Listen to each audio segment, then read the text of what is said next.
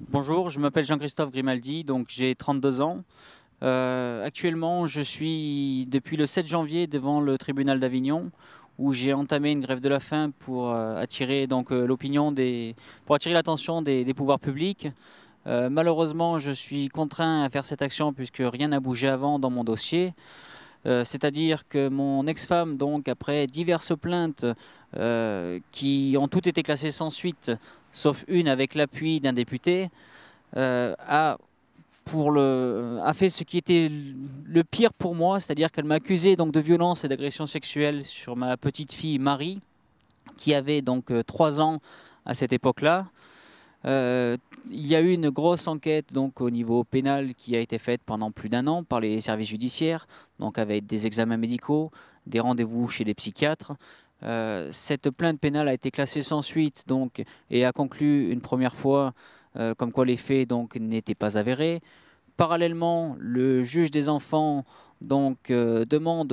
dans la, dans la région où habitait donc mon ex-femme à cette époque, s'est saisi du dossier. Il a ordonné une enquête sociale là qui a duré aussi plus d'un an avec euh, des éducateurs spécialisés, une assistante sociale, des psychologues, tout un tas d'investigations qui ont,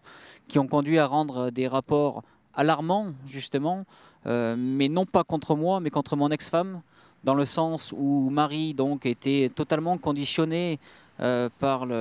l'évocation du mot père, où malheureusement Marie était sous l'influence totale de sa mère et que Marie présentait de fortes angoisses uniquement en présence de sa mère dans le sens où le reste du temps à l'école était scolarisé normalement et l'ensemble des, des, faits qui étaient évoqués donc par mon ex-femme euh, était totalement infondé.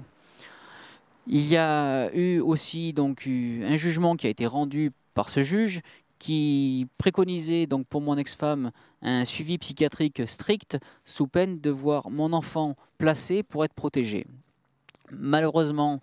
euh, pour fuir la justice, mon ex-femme a redéménagé dans le Vaucluse et ici à Avignon, donc un juge des enfants, au bout de quelques temps, a clôturé le dossier en disant que Marie n'était pas en danger et qu'il n'y avait absolument aucune raison de la placer et de la protéger de sa mère, qui pourtant donc avait été déclaré milieu toxique auparavant, amende juste quelques mois plus tôt. Bien que j'ai conservé mon autorité parentale, je ne sais absolument rien de ma fille.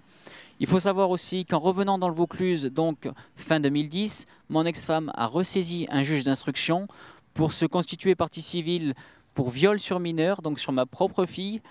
et que derrière, l'instruction qui devait avoir lieu euh, n'a pas eu lieu depuis plus de deux ans. Donc c'est pour ça que j'ai entamé cette grève de la faim,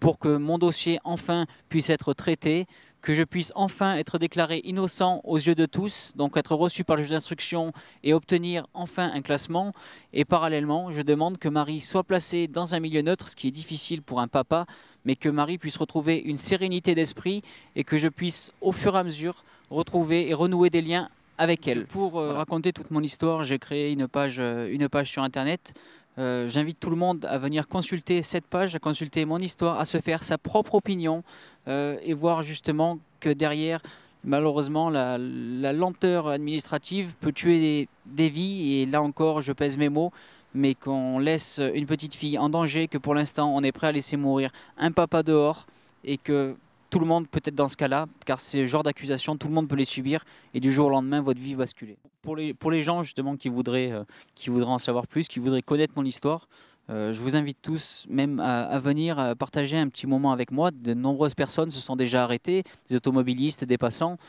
pour venir savoir exactement ce qu'il en est, pour venir me témoigner votre soutien si vous êtes d'accord avec mon combat, euh, sachant que c'est le combat de parents, c'est le combat des enfants. Ce n'est pas seulement un combat personnel, c'est le combat de tout le monde. Donc moi, je, je, vous attends devant le palais de justice à Avignon pour venir en discuter avec moi sans problème. Je crois que ce qui est peut-être le plus malheureux, c'est que mon ex-femme n'habite pas à des milliers de kilomètres. Euh, elle est à Comont-sur-Durance, à un quart d'heure de route et je ne peux pas voir Marie, je n'ai aucun moyen de la contacter, je n'ai aucun moyen de lui dire que son papa l'aime. Donc je profite que l'affaire justement soit, soit médiatisée et quelque part malheureusement, parce qu'il a fallu en arriver là. Mais euh, si un jour euh, Marie a l'occasion de me voir, je voudrais simplement lui dire, ma petite fille,